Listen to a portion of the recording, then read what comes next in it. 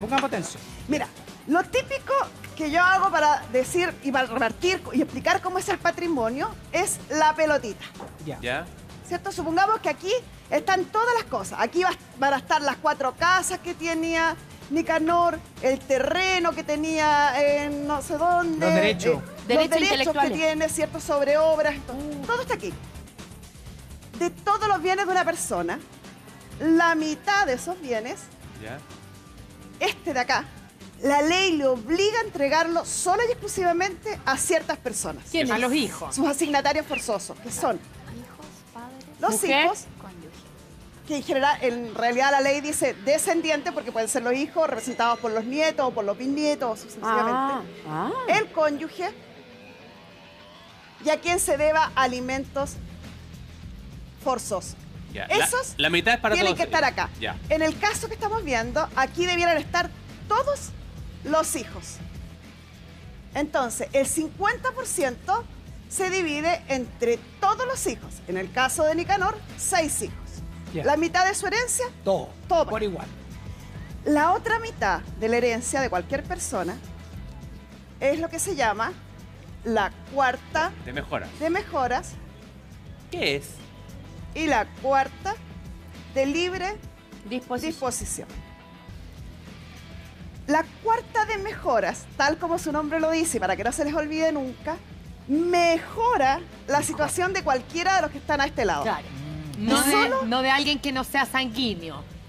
No, puede ser, tiene que ser sanguíneo porque es de cualquiera, Perfecto. excepto la cónyuge que no es sanguínea. Tiene que ser a esto, ¿Puede no ser puede solo ser de a uno? nadie más. ¿Puede ser solo de uno? Buena pregunta. Gracias, Carmen Gloria. Puede ser solo a uno, o a dos, o a O los a tres. tres, o a- Puedo darle la mayor parte de la cuarta mejora a mis hijos, un pedacito de la cuarta mejora a mi cónyuge, o etcétera, sea, por etcétera. culpa de la cuarta mejora se producen los conflictos. Embarrada. No, y la de libre disposición. La de libre Y la cuarta de libre disposición, esa sí se la puedo dejar a, A quien, se, se me plazca. ocurra. A la A mi Teletón, al Hogar claro. de Cristo, a, mí A la misma, Karen. si quiere me la deja, señor. A un amigo. A, un han dejado a las amigo, a una mascota, Sí, sí. Al amante también, se lo han También. dejado. ¿qué pasa en el caso del 50% que no es, eh, el, el- del- el- perdón, el nombre, la parte de ella, el 50% La que rigor, disposición, obligatorio. perdón, y uno no tiene hijos, ¿se puede ir al padre? Es que no.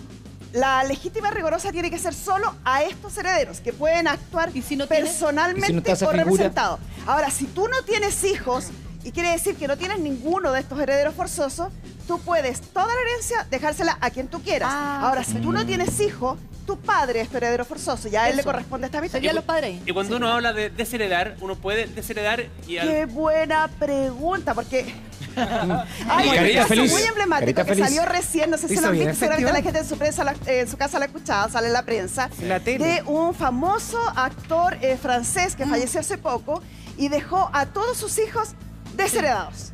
Y dejó Del toda su fortuna a su mujer. Sí. Qué miedo, ¿no? ¿Ya? ¿Sí? Vienen las últimas noticias ahí, Sí. mira.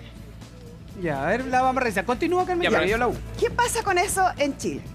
En Chile lo primero que debemos entender que están estas que se llaman asignaciones forzosas que yo no puedo dejarlas sin entregar a mis hijos, a la cónyuge, yo tengo que dejarles la mitad de la herencia. Si yo no lo hago, un tribunal puede reformar este testamento o solic- eh, solicitar la petición de herencia y dar lo que corresponde a estas personas.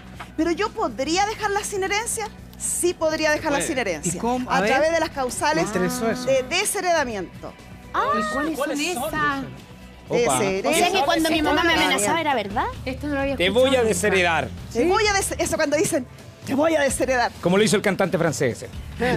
Bueno, las causales de deshereda- desheredamiento son bien expresas en nuestra ley. Y en general, la- nuestro Código Civil dice que da causal para desheredar a quien comete injuria atroz. Ah. Entonces uno dice, ¿qué es injuria atroz? Cuando uno es indigno de suceder, dice el código. ¿Y qué es indigno de suceder? indigno Ahí llegamos al artículo 968 del Código Civil que establece, por ejemplo, que es indigno, yo digo por ejemplo, por el código las elabora en forma taxativa. Por ejemplo, intentar matar a la persona a la que pretende testar. Ah, Ah, Sí, pues eso es más que indigno. Sí. Sí, Sí. po, ya Ahora no basta con mis dichos, yo tengo que demostrar esto en un tribunal. Tiene que haber habido una condena en contra. Ese señor, desheredado. desheredado. Perfecto. Atentar contra mi persona que pretende heredarme, contra mi hijo, o contra mi cónyuge, o contra los bienes que nosotros poseemos, también O sea, desheredado. a Pilar Pérez la podrían haber desheredado. Está desheredada todo el rato. desheredata pedía. Ocultar el testamento. rato. Pedía. Claro. Falleció alguien y yo escondo el testamento porque el testamento no me beneficia. Y después por ahí se enteran de que yo tenía el testamento escondido. Causal de desheredamiento O sea para